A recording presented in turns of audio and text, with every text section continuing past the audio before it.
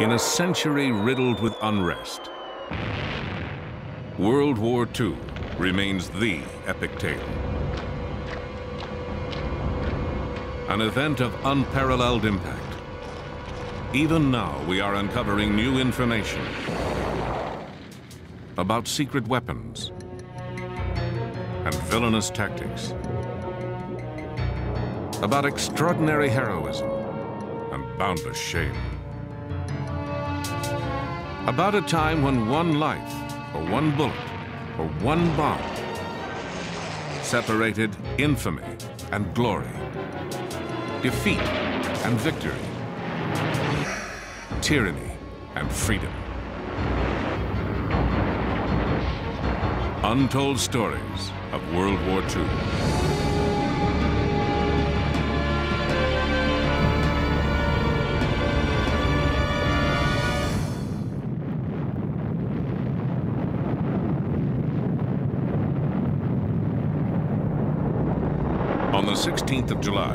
1945, a bomb exploded in the American desert.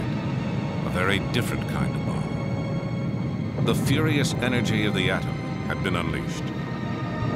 That power might have landed in the wrong hands had a few brave men not waged a secret war against Germany's atomic program.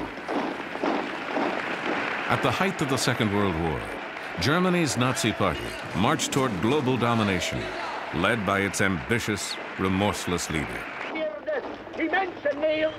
Adolf Hitler had the will to conquer the world. All he needed was the weapon. And he had found the means to make one in the most unlikely place.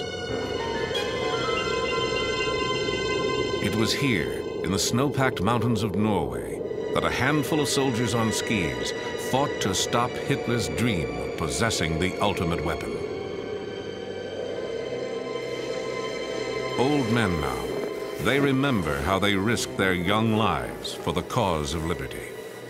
They will stop at nothing to, in order to conquer the world. So the feeling they had to be stopped became very, very strong. We were quite certain that if we were caught by Germans, we were all being executed. It would take three daring attempts before they succeeded.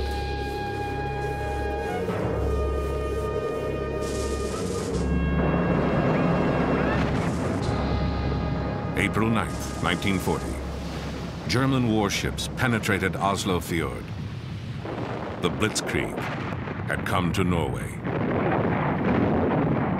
Within two months, the besieged nation was forced to surrender. Well, it, took some time to realize it actually, but when autumn 1940 came and the darkness came in over Norway, you, you, you suddenly realized that it was not the same Norway you had the year before.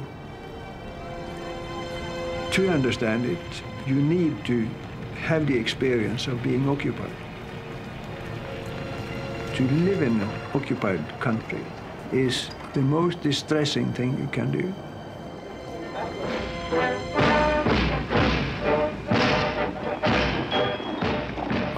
Vast occupying army flooded the country. The Nazis now controlled all aspects of Norwegian life. No, actually a war between each Norwegian and each German. We had to do the best out of it. I think that was the common opinion. Inside, of course, uh, most Norwegians hated them.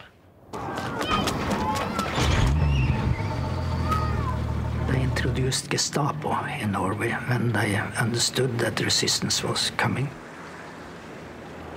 Started arresting people, torturing people, killing people, etc., etc. And then we uh, suddenly understood what an occupation meant to the, the people.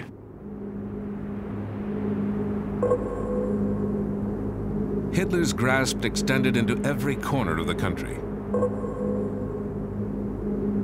In this remote Norwegian valley, the Germans seized a very special prize, the Norsk Hydro factory. Surrounded by mountains, the factory had been built on the face of a cliff overlooking a deep and impassable gorge. For the Nazis, it was an ideal location for a wartime project, difficult to bomb and easy to defend. But to the generals in Berlin, Norsk Hydro offered even more. In 1940, it was the only hydroelectric plant in the world producing large amounts of an extremely rare substance, deuterium oxide, also known as heavy water.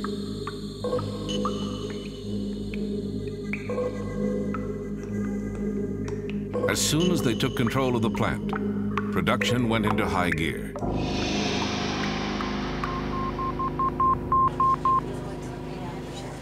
When word reached Great Britain, a powerful sense of foreboding swept through the Allies.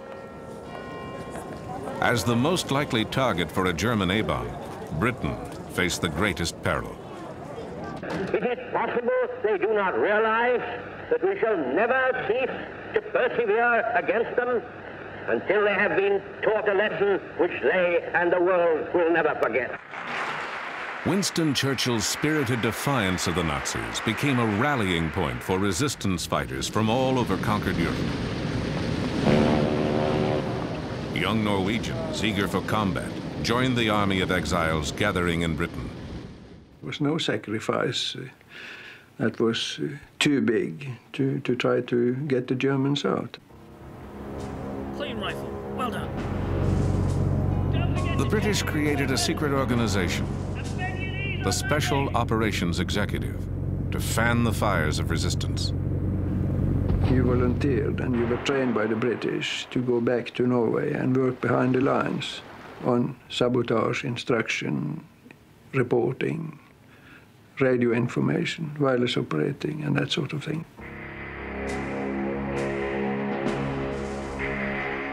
A few young resistance fighters would return to Norway undercover, armed with a plan to destroy the heavy water factory.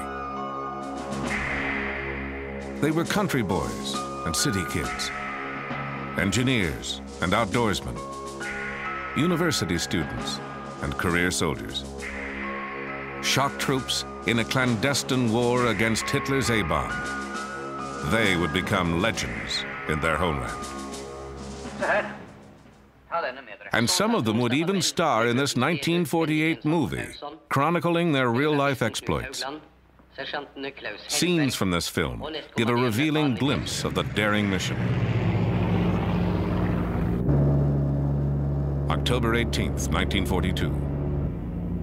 Four of the men returned home in a dangerous night parachute jump. Their mission, to guide a British explosives team to the heavy water plant. When we were leaving for the dropping zone, uh, you felt that some of the people sending you didn't expect to see you once more. So we had to more or less to cheer them up and say it's not this, that, this easy to get rid of us. We will be back. Just wait and see.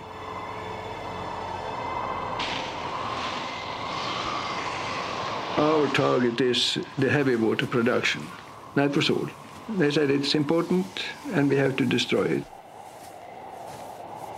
I knew that the heavy water was important for the German weapon production, but in which way, I had no idea. The commando's first objective was to establish a secret landing field on the Hardangervidda, a huge plateau north of the factory. Crossing that bleak expanse, the Norwegians took over an empty cabin and made radio contact with England. The operation could begin. For the first sortie, the British sent a force in gliders towed by bombers, a plan that needed clear weather. But over Norway, clouds, winds, and snow had cut visibility to near zero. For the Norwegians on the ground, the flight had become a disaster waiting to happen. I tried to get connection with England and warn them, but at that time it wasn't possible. And then suddenly I heard interference in my headphones, and I knew they were not uh, far away. And shortly after, we also heard the engines of the aircraft. And it came dead on us, passed over us, and disappeared. After about half an hour, the next plane with a guide, glider came, and it came right to us correctly, turned, and went away.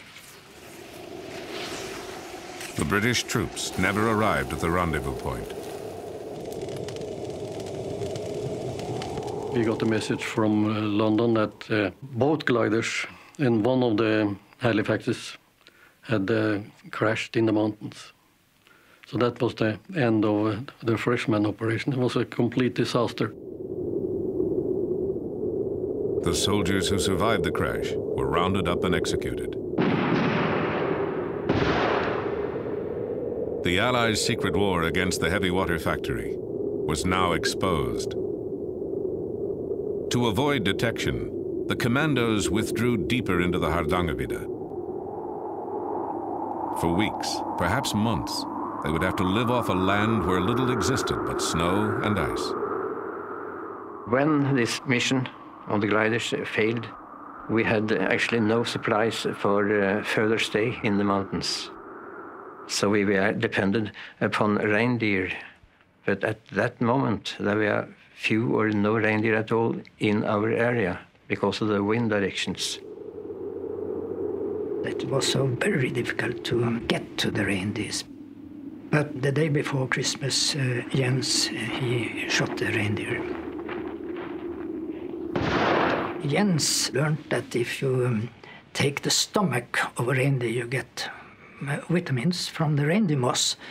So we cut up the um, stomach and took out the uh, the uh, reindeer moss or the contents and mixed it with blood and everything and made a nice uh, porridge uh, mixed with brain. and uh, we were eating it, and it probably saved our lives. So Christmas Eve, we had a real fine party.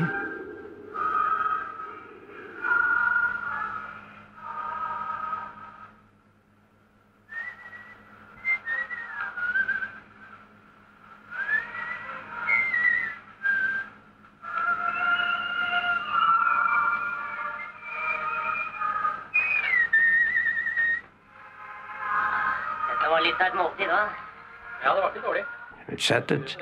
and we had a good time at uh, Christmas Eve. I remember well.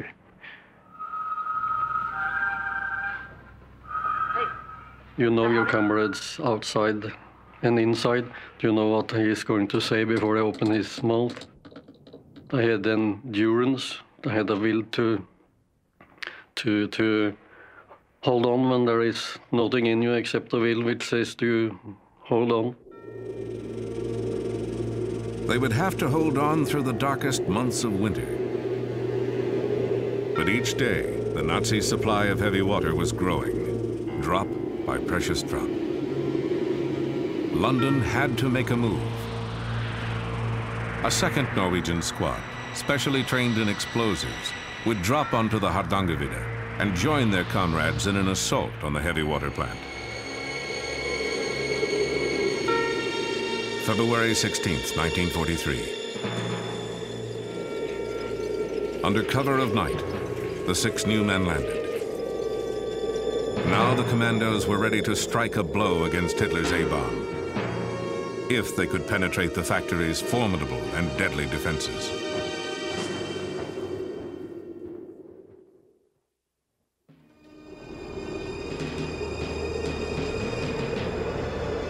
To the commandos, the heavy water plant appeared impervious to attack.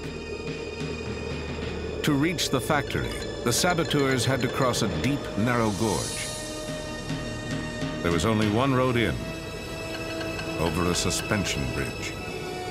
And the bridge was patrolled 24 hours a day by German soldiers. Any direct assault would be doomed. But the chasm itself, with its steep, icy wall, lay unguarded. Some of us said we thought it was rather impossible to cross that gorge, but uh, it was decided that one should go down and find out. In daylight, I went down into the valley, I climbed down the gorge, crossed the river, and started climbing up on the other side. And then the same way back, up to my friends up in the mountains, and uh, told the facts that it was possible to cross the gorge.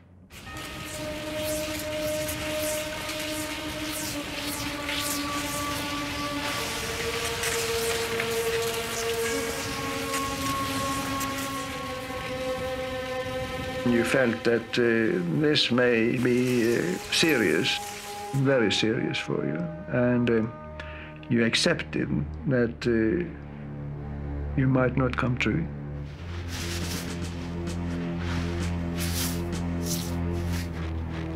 And we climbed down the river and up on the other side. And our plan was to get in position for the attack by 11.30, because at 12 o'clock at night there was a guard shift down on the suspension bridge.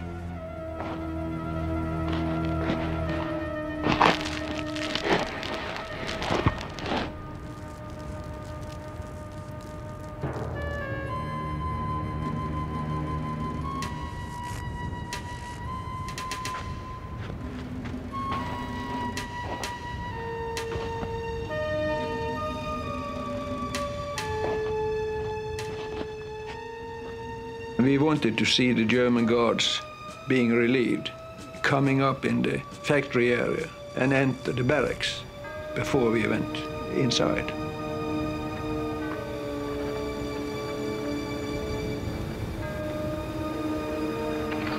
We all thought we would be discovered when we, we forced the gate, but nothing happened. Two of us carried a full set of charges. In case one should be shot, there should always be reserve. The task for the demolition team to attach explosives to the heavy water cells located in a basement room. Meanwhile, their comrades on lookout waited. Each passing moment increased the chance of discovery. If we had been discovered, I knew that during such circumstances you will have to act. So they er shoot.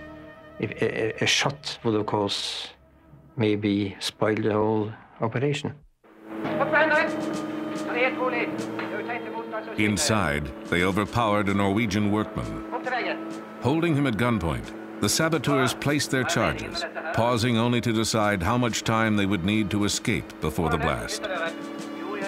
Suddenly, they were interrupted by their captive. He broke in and said, it's all right, you, you, you may blow the factory, that's all right, but may I have my glasses because it's hopeless to get no glasses in Norway today. And uh, you would have thought that uh, you probably said, damn your glasses, uh, you have no time for looking for glasses. But instead you dropped what you were doing and you searched all around the room and you found, you found the, the, the holster for, for his glasses and gave him and he said, thank you very much. And so we went on with, with taping the fuses.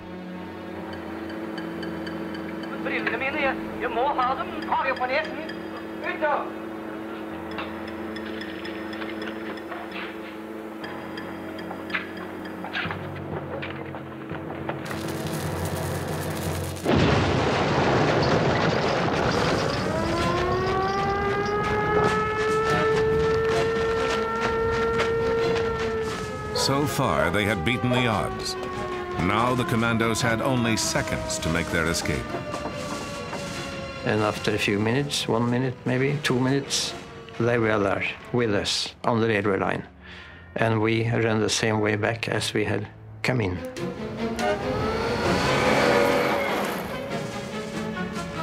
The road condition and the snow condition were excellent because on the railway, quite a lot of the snow had blown away on the outer side. And that was frozen solid ground, and we didn't put a mark.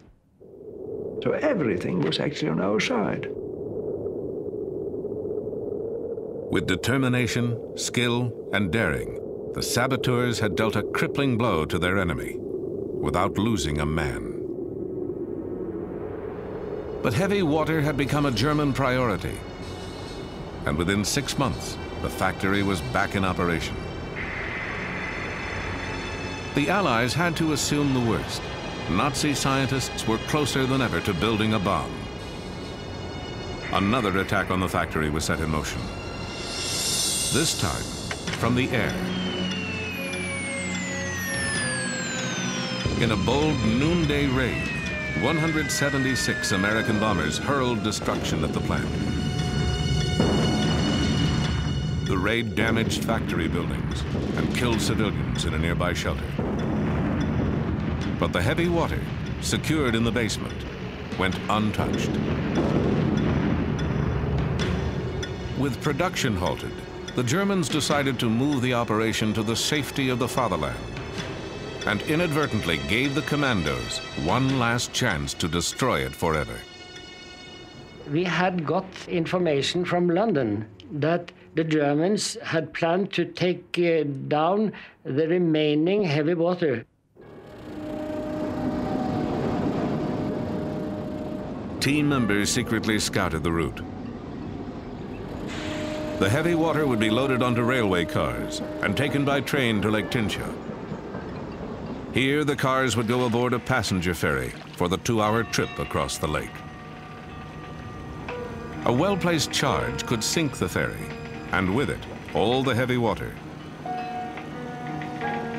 But sinking a public ferry meant paying a terrible price.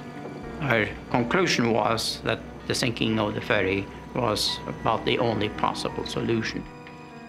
It would have to be civilian sabotage, which was naturally a very serious thing to deal with. There was no doubt in our mind that there were going to be human lives taken. And furthermore, it could be anybody. And Rjukan was a small town, and it was really almost like all family. Fearing neighbors and friends might die, the Norwegians sent an urgent message to London. The British reply was immediate and uncompromising. It has been talked over, and the conclusion is the heavy water has to be destroyed. Good luck. And when you get such a message from London, you have to do it. Not to be drastic, but in, anybody in my family was scheduled to go on that ferry. I couldn't do anything about it.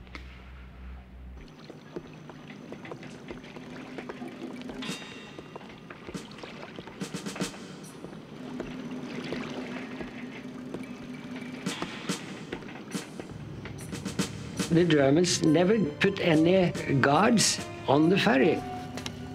They were watching the barrels on the railway.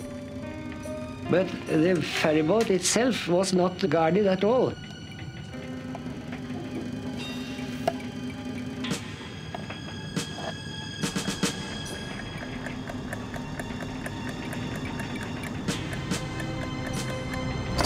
At 10 o'clock on a quiet Sunday morning, ferryman cast off from the dock on schedule.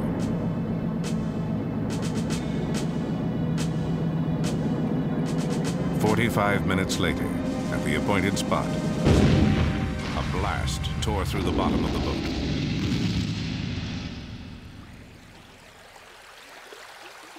It was a very, very hard blow, and the ferry rapidly rose. And the cargo on the ferry, they, they were railway wagons, you see, so they rushed down and tilted the ferry still more.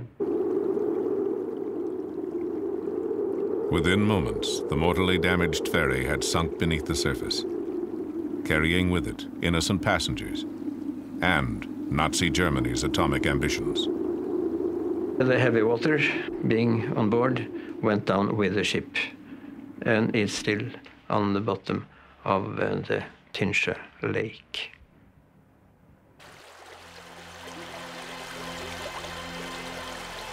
Later, the Allies would learn that the Nazis were never close to an atomic breakthrough. The U.S. won the A-bomb race.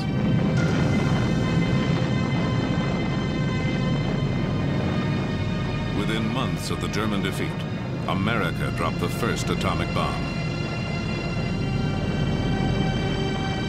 But in the Allies' hands, the bomb helped to win a war, not perpetuate one.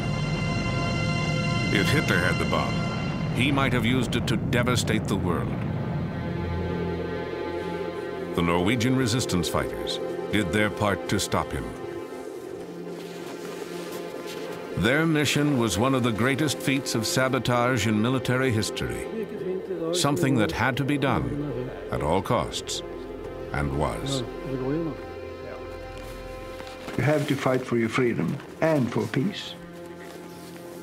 It's not something that you have every day. You have to fight for it every day to keep it. It's, it's like a, glass bowl. It's very easy to break.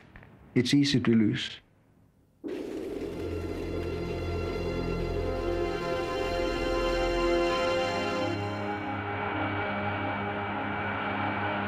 Half a world away, on December 7, 1941, Americans learned the cost of freedom when Japan devastated Pearl Harbor. That sneak attack included the stealth weapons of their day, midget submarines. They were sleek, deadly, and until now, consigned to history.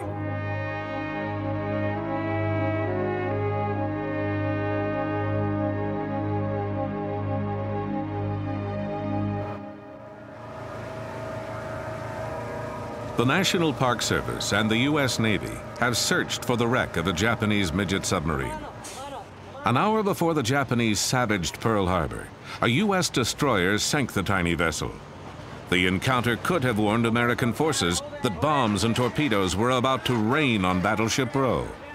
But it did not. hold on, hold that. Shift her around. Marine archaeologist Dan Lenihan directed the hunt for the midget sub.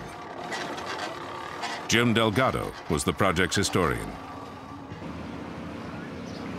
Their collaboration grew out of earlier research below the surface of Pearl Harbor. They searched for evidence of a bygone conflict, a battle waged underwater by five midget submarines. One sub played a special role. And what's particularly exciting about the midget sub that's outside the entrance is it would have represented the first exchange of hostilities between the United States and Japan in World War II. And because remember that this sub was sunk uh, an hour before the planes attacked Pearl Harbor. An incredibly important, significant find if we could do it. The search for the midget sub focused on a square mile of debris-laden bottom The area is a graveyard of war relics, like this old Navy plane. A thousand feet down in the darkness, everything begins to resemble a sub. But what they're looking for is 80 feet long and 6 feet across. It carried two torpedoes and was manned by an officer and a navigator. They were going to come on in, sit and wait, and then when the attack occurred, when the planes came in, when all hell broke loose in Pearl Harbor. They would surface, fire their torpedoes, wreak as much havoc as they could, sw swing around Ford Island, head back on out, and then rendezvous with their um, their mother subs to, um, to, to be taken back to Japan. The mother ships moved into position off Diamond Head before midnight, December 6, 1941. They arrived ahead of the Imperial Navy Task Force. Each mothership had a midget sub strapped to its hull. The larger craft would release the midgets before dawn and retrieve them after the attack. But the tiny vessels would never return from the battle, a clash of giants that had been brewing for years. A long series of brutal attacks upon an From Manchuria to French Indochina, in less than a decade, Japan had rolled up a long list of conquests across Asia. Despite an Allied embargo on war materials, she was growing stronger. By late 1941, the vast resources of Southeast Asia lay before the rising sun. Their only protection, a scattering of British and Dutch outposts, and the U.S. Pacific Fleet. I think there was a general sense that this that the war would break out. I don't think anybody expected that it would take place here at Pearl Harbor.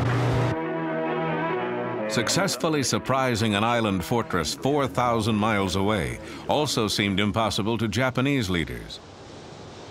But Admiral Isoroku Yamamoto convinced them this daring raid was the only way to disarm the sleeping giant.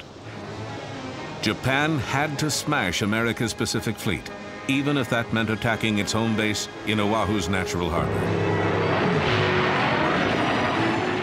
Japanese pilots trained hard through the fall of 1941. So did the crews handpicked to pilot the midget subs, the fastest boats of their kind. Soon, they would have their chance for glory. In Washington, Japanese diplomats continued to seek peace through negotiation until the final hour. Not even Japan's ambassador knew of the coming attack.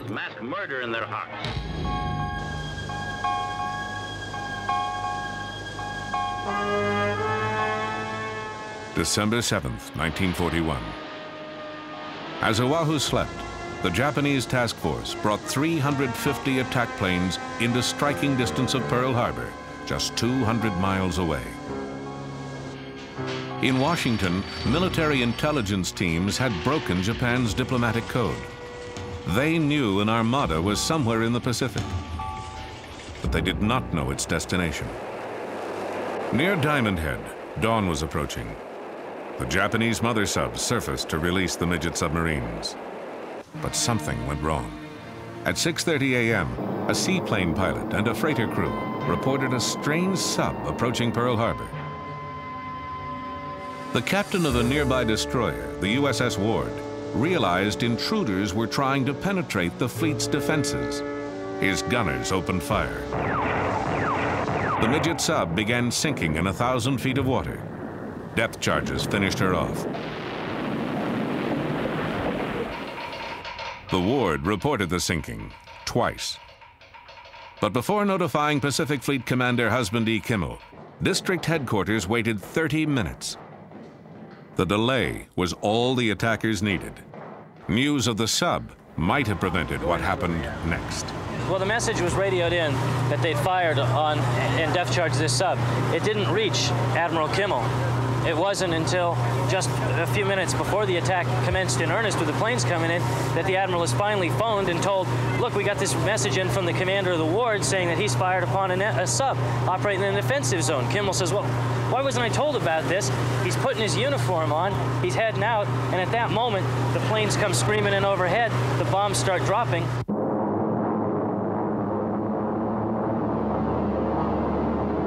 At five minutes to eight, 40 torpedo planes roared over Ford Island, bearing the mark of the rising sun. Accompanying them were 51 dive bombers, 49 high-level bombers, and 43 fighters. American sailors thought they were seeing a practice drill. Bombs and bullets found them eating breakfast, ironing uniforms, or staring into the fatal sky.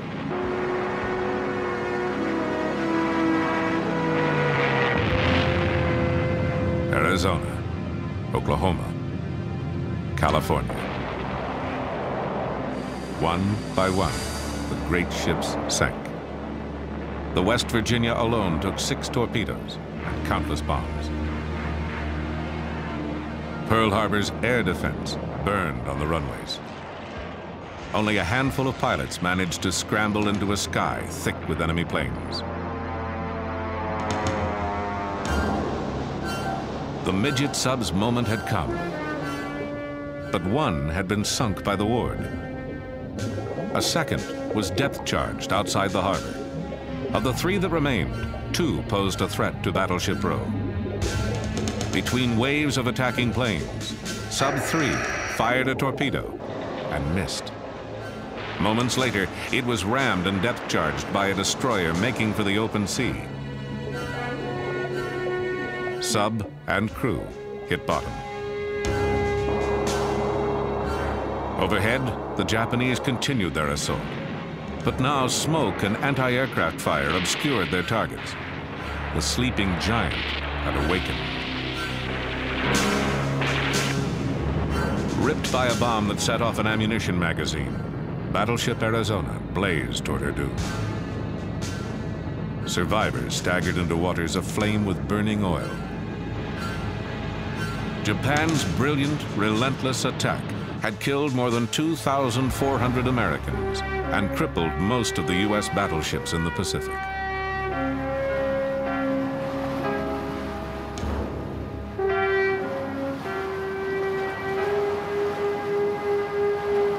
For the midget subs, though, the battle was not as glorious. Two still roamed Hawaiian waters. Number four which may have fired at Battleship Row, radioed news of Japan's victory to the fleet that evening. Then she disappeared, never to be heard from again.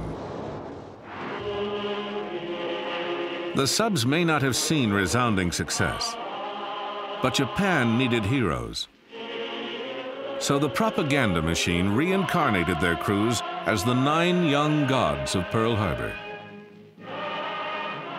This wartime Japanese feature told their story with luxurious exaggeration.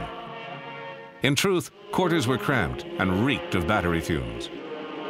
The midget subs helped create confusion at Pearl Harbor, but didn't affect the war's outcome. And what of the last midget sub at Pearl Harbor? Commanded by Ensign Kazuo Sakamaki, it suffered a fate worse than sinking. On December 8th, as President Franklin D. Roosevelt called for war, Sakamaki's sub washed up on the far shore of Oahu, undone by a faulty gyroscope. His submarine wouldn't function right, so he, he drifted all the way around the island to the opposite end and then around and uh, went ashore on the morning of December 8th at, uh, at, at Bellows, where um, he and his uh, the crewmen assigned to the sub tried to, to blow the ship up. It didn't work. Um, they jumped into the water. They, the crewmen drowned, but Sakamaki washed ashore and became the first prisoner of war that the United States captured in the war in the Pacific. Um, POW number one. Sakamaki spent the war in prison. His sub toured the U.S., helping to sell war bonds, a souvenir of dark days.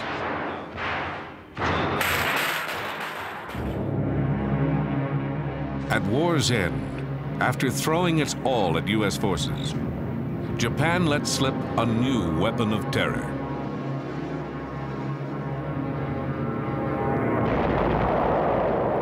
For decades, the scars left by kamikaze attacks enforced a silence on both sides. But the men who fought those battles will never forget them.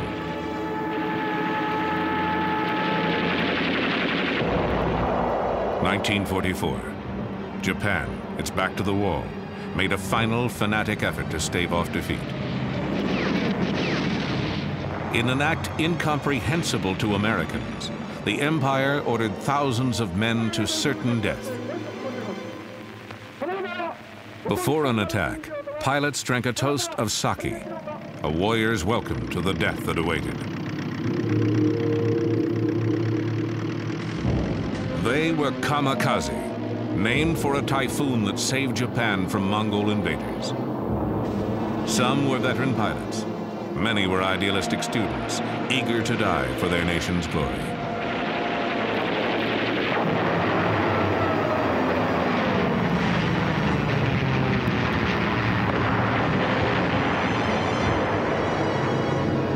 Kamikazes inflicted awful punishment on their enemies. More than 3,000 flyers dove to their deaths. They sank 57 ships and damaged more than 300 others. Their attacks killed at least 3,000 Americans and wounded more than 6,000. The kamikazes were the deadliest weapon ever launched against the U.S. Navy, so frighteningly effective that their existence was initially kept secret from the American public.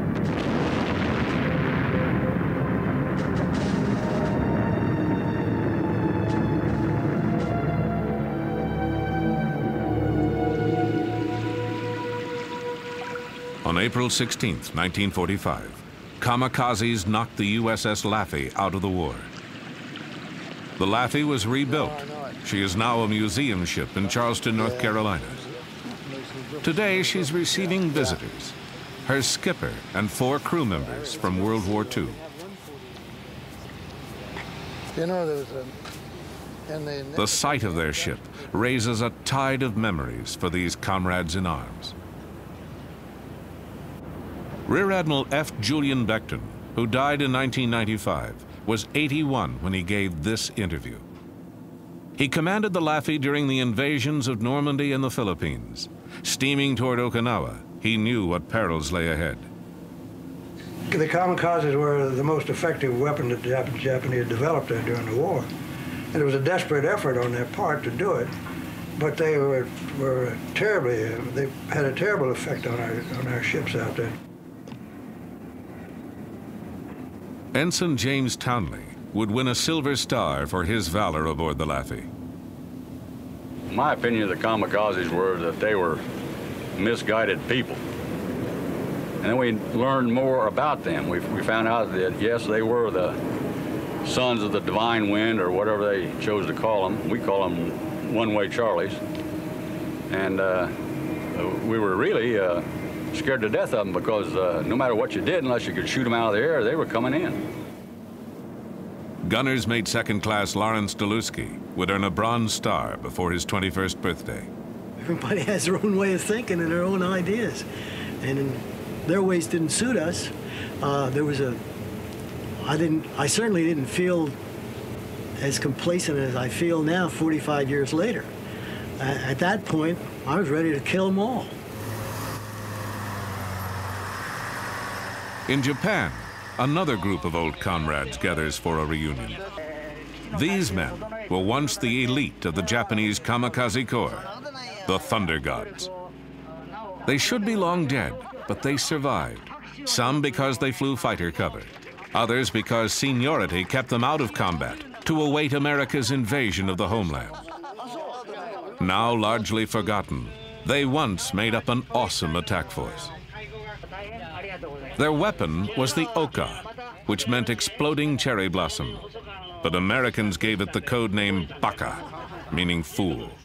The weapon for another type of kamikaze attack, a Baka bomb captured on Okinawa. It's a two and a half ton flying bomb dropped from a mother plane and carrying a suicide pilot. Three rocket propulsion units are set off on approaching the target, giving a maximum level speed of 535 miles an hour. Marcus Punch is an armor-piercing 2,600-pound warhead. It's the first weapon specially designed for the Kamikaze Flying Corps.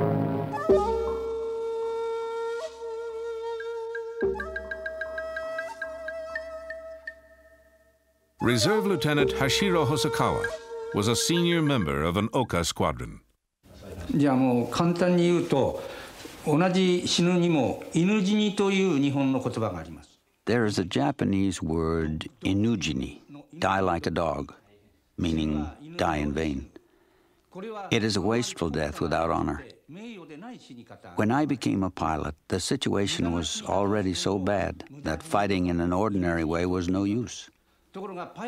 We were chosen as elite pilots. Each of us received a headband and a dagger. We thought it was a privilege granted only to the members of the human torpedo unit, the elite Oka Corps, and that we would die gloriously.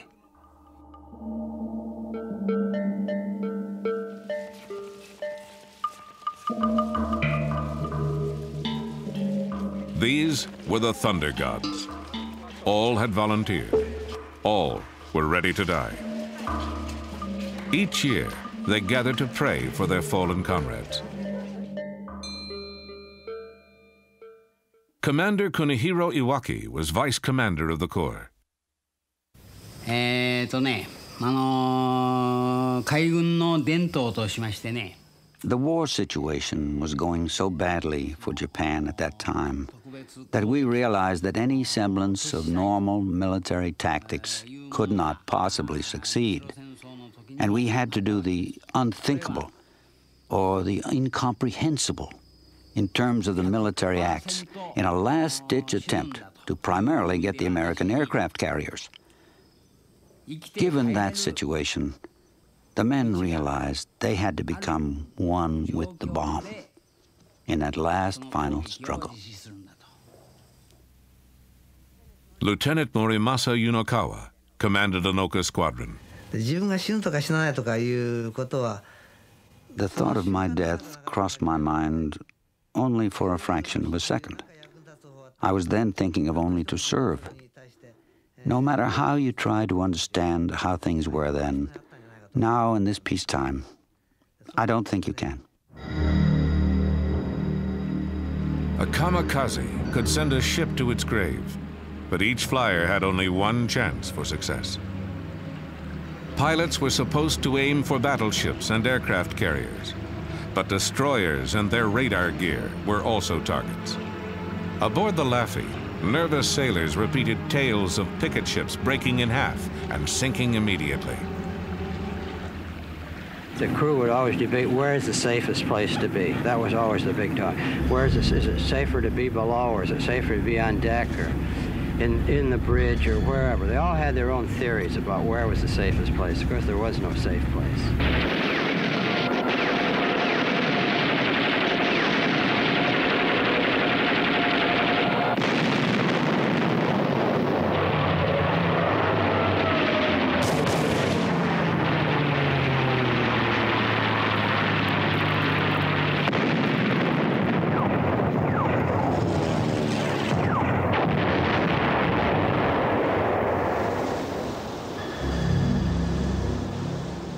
In April 1945, the noose was tightening on Japan.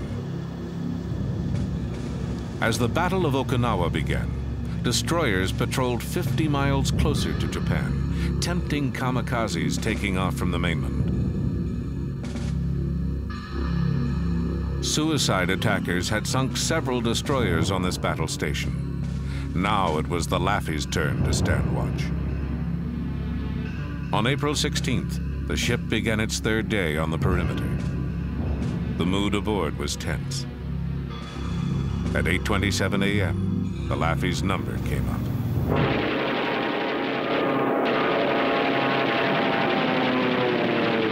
Well, the first ones were just, they sort of circled around out pretty far, maybe oh, eight, 10,000 yards, and they'd kind of, then all of a sudden, they, it's like some sort of signal, they started coming in, and first they just came in one or two at a time, but then they started coming in, in uh, several at a time, and uh, you, you couldn't, you just couldn't take them all under fire, so that's when we started getting hit.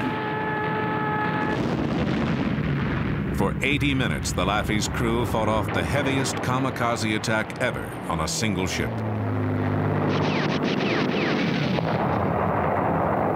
Our uh, closest call was a plane coming in on a starboard beam. And uh, it was, when I first saw it, it was low on the water about 10,000 yards out. I figured it was about eight, eight seconds away from certain death unless the gunners got it. And our Mount 52, which was just forward of the bridge, was firing at it and firing fast. I noticed that the that the bursts were just off, just missing him. So I just moved it and the next one went right into his, right hit him right in the nose and just blew him up. And that one was the one that would have gotten us all.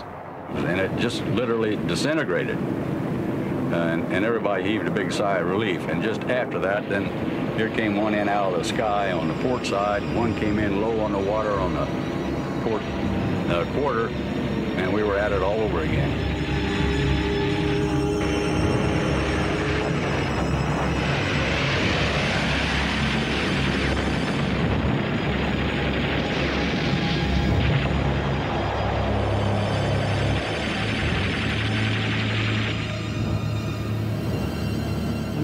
April 16th, we had a suicide plane hit us right about here. It hit with enough impact so that this gun was blown up, canted upward at a more than a 45 degree angle. The motor of that plane skidded along the inside of this left-hand gun and wound up at the hatchway in the back of the gun on this side. And when he hit over there, I was blown up the deck about 15 feet. And when I regained consciousness, that's where I was.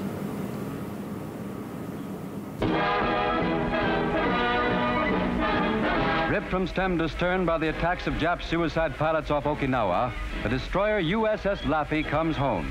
The Laffey was struck with everything in the Jap book. In the savage attempt to finish her off, 22 suicide pilots roared over her. Seven bomb-loaded planes crashed on her decks. The final score was nine enemy planes shot down by the Laffey but 32 of her brave men were dead or missing, and 60 were wounded.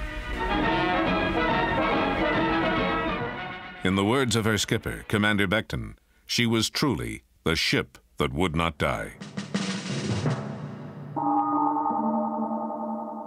Flying conventional aircraft, kamikaze pilots caused terrible damage. But the Oka Corps never really got a chance to affect the war's outcome. The bombers that carried the Okas were slow, and American fighter pilots shot down most of them before they could release their deadly cargo. By war's end, Hosokawa was his unit's only surviving officer. He found the transition to peacetime troubling. それからあちょうど台風眼の中にいちゃったんじゃないかと。 All of a sudden, the war was over, and I had the feeling of someone who had been in the eye of a typhoon. And suddenly the typhoon is gone. The weather is clear and beautiful. No one, nothing is left but myself. And the feeling is, why? It's a very strange feeling that I cannot understand. Why the typhoon spared me. Thankful, dear Father, that you saw us through these difficult days. They were doing Father, we want to thank what they felt was right, just as we were doing what we felt was right. It had to be. How else could you put your life on the line for something you didn't believe in? Preserve this ship and for the cause of freedom. We ask, dear Father, that their memory continue with us always.